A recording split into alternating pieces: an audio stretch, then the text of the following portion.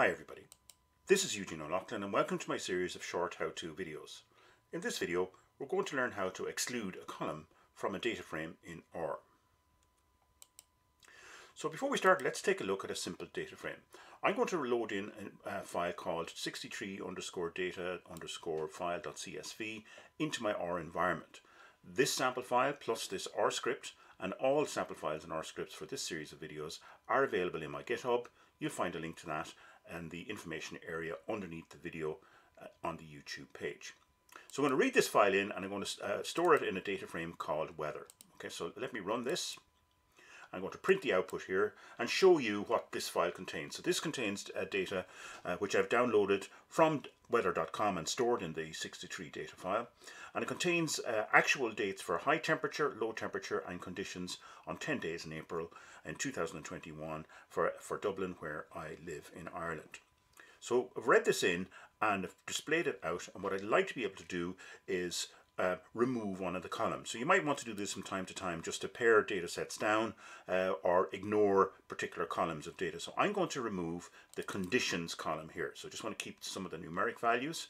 So the way I do this is I'm going to use the subset function to update the weather data frame. So weather, assignment operator, and the subset function.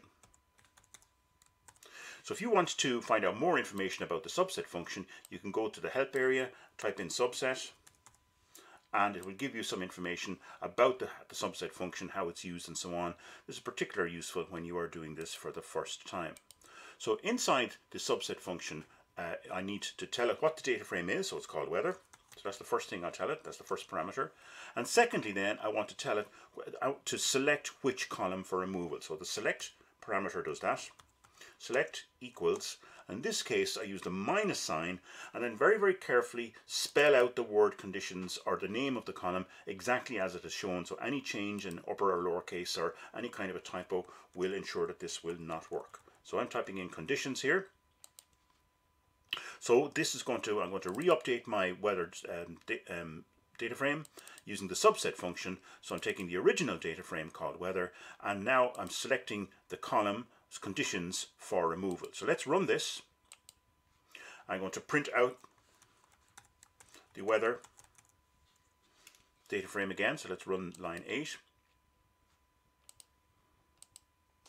And we can see that the conditions column has been removed. If I scroll up and down here between the two outputs, you can see the first output conditions is present, and in the second output, it is not present. If I want to remove another column, that's also quite simple. Let me just copy down these two lines copy and paste.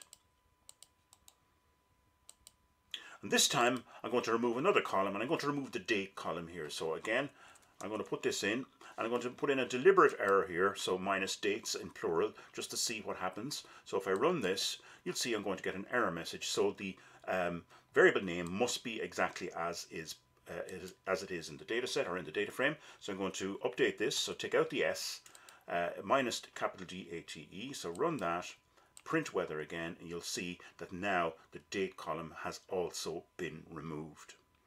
So you may well want to do this on many occasions when you are doing your data analysis, uh, just to concentrate on, say, for example, as I have done here, on numeric data, and now I've got a data set that I can do some calculations on, uh, excluding columns that I don't need.